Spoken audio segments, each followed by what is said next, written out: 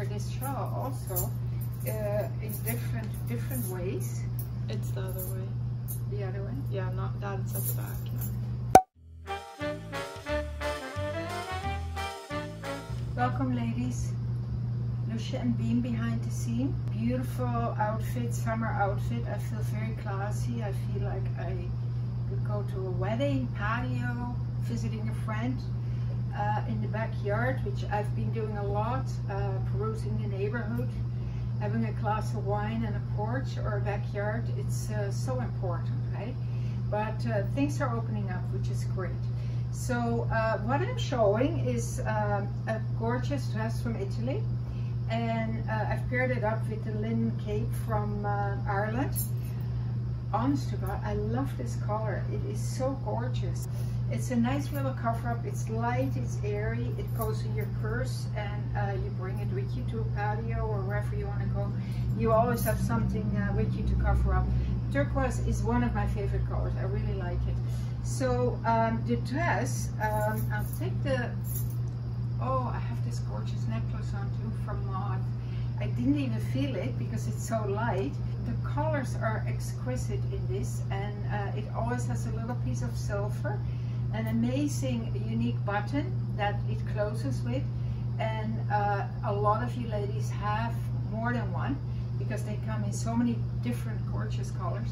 But I thought this looked really nice with this dress and with the um, shawl. So uh, you can also wear the poncho uh, turned around and uh, then it shows this beautiful cutout.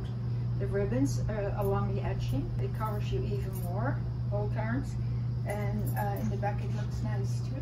I'll take off the poncho now and show you the details on the dress. Very nice lines in this dress. This is a line uh, around the hip and that's where they place the pockets, which is a cute look. I love pockets in everything.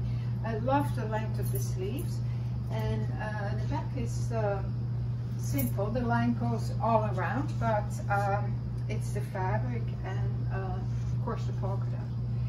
I will show you another color because it comes in another color. I'll be back. So this is the other color. I think it's quite pretty. It's like a rosy pink and uh, of course the dots. Uh, yeah, I, I like it. I didn't think this color would look nice on me, but I think it's very flattering.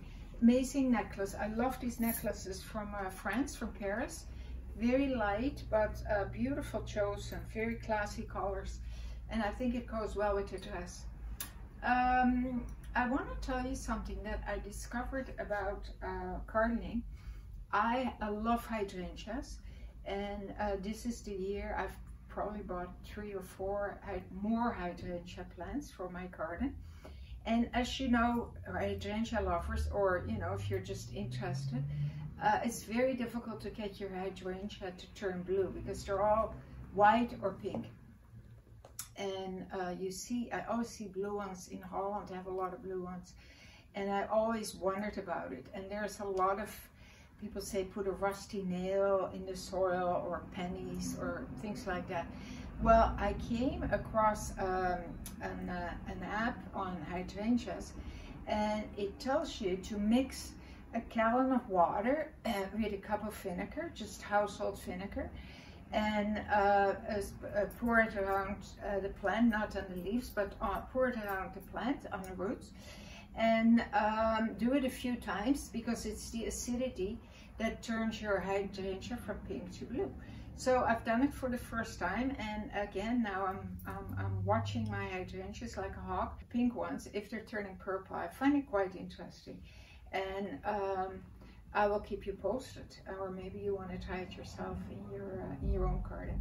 Anyway, I hope you liked the segment and uh, we'll see you again ladies. Keep on smiling. Thank you ladies for watching this segment. I hope you got inspired and you got some style tips. And what do we say again? Please like and subscribe to our channel so that we can reach our content to more beautiful women. Like you. Have a great day. Keep smiling.